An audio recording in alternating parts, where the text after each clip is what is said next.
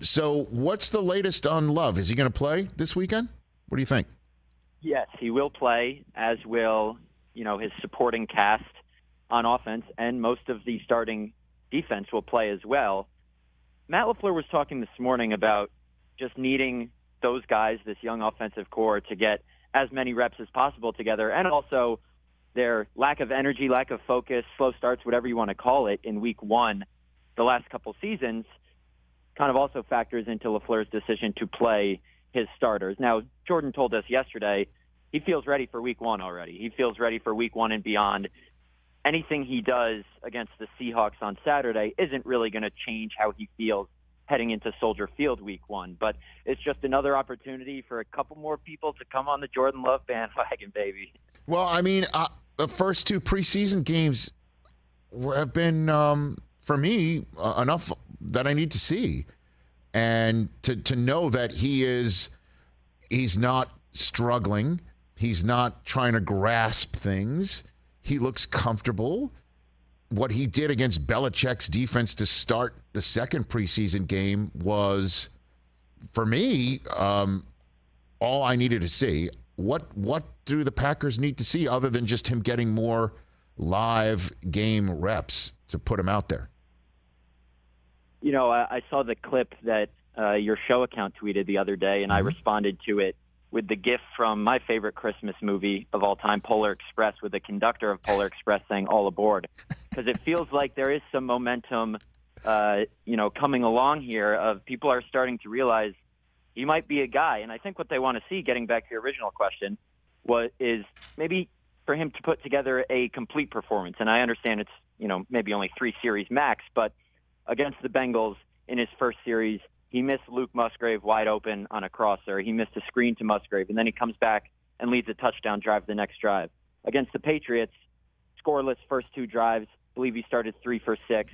Uh, he played a part in a botched snap that the Patriots recovered on the first drive, but then he comes back and leads a 93 yard touchdown drive. So it's good that he's shown the ability to respond from slow starts, but maybe it'll be good to see him put together a complete three drives instead of starting slow. But the kid can throw the ball. He can move. I mean, I'm here at practice right now. I just saw the Packers run two triple options in like a span of five plays. I don't know what the hell they think they're doing right now, mm. but it looks like Matt LaFleur is getting a little creative with a kid who can run at quarterback. Getting in his bag, getting in his bag. And what's it been like watching him operate uh, when not on the field? You know, I asked him yesterday if he's been able to maybe take stock in where he is, the position he's in. Because after the first day of training camp, he was asked what kind of reception he got from fans. And he said, You know, I, I didn't really notice that. I was so locked in. And I asked him yesterday, at any point over the last three plus weeks, have you been able to take a breath and say, you know, this is pretty cool. I'm the starting quarterback. These fans are showing me love. And he hasn't really been able to. I mean, I have not seen anyone around here. Granted, I haven't been doing this for as long as some other people on this beat, but his temperament, his leadership, nothing seems to rattle him. And you brought it up earlier. He doesn't seem to panic on the field, off the field. Everything seems calm. And who knows if he's going to be any good on the field. But all the intangibles, the makeup, how he's handling the pressure, the expectations, any chaos around him on the field, it seems like all that stuff is going to set him up for success. Well, his first game at Chicago, where he can prove that ownership of the Bears just changed quarterbacks, right? And then at Atlanta, which is breaking in a, a first time, full time starter as well. He strolls into week three opener against New Orleans, 2 and 0.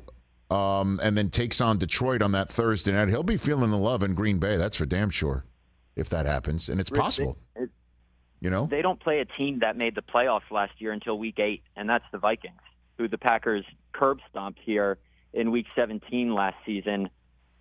They start with those teams you mentioned, and then it's the Raiders on Monday night, Week Five. Then they have a bye, Week Six. Then it's the Broncos, Week Seven, and then Week Eight it's the Vikings. Then the Rams, Week Nine. So this is a very favorable schedule for the Packers the first half of the season. Now the second half, there's the Chiefs, the Giants, the Chargers, but you know, there is a chance, I'm not saying it's going to happen, but there's a chance the Packers enter their bye in week 6 at 4 and 1, three and two, I think would be successful. But if Jordan Love can not lose Packers games, if he can do enough to, you know, keep them in it, I think he's going to be an above average quarterback. They have the talent around him to, you know, not only win this division, but maybe make a run in a what I think is a weak NFC conference. Catch the Rich Eisen show every single day on the Roku channel, 12 to 3 Eastern for free.